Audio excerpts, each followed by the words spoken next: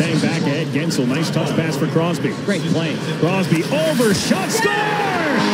Bryan Rust on the setup from Sidney Crosby.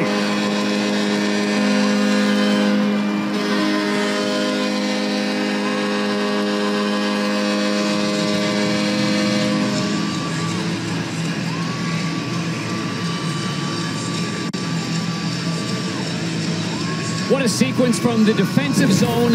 Saved by Tristan Jarry here. Good shot, and Guentzel was in front. Then the left pad on Robert Thomas, and the swarm continues right here. As you can take a look, it looked like Kyrou fed Tarasenko perfectly, but then this long pass, beautiful touch pass to Guentzel, right to Sidney Crosby, right on the tape to Rust through a maze of players and a terrific shot by Rust, the right-hander going high to the glove side. Two goals for Bryan Rust.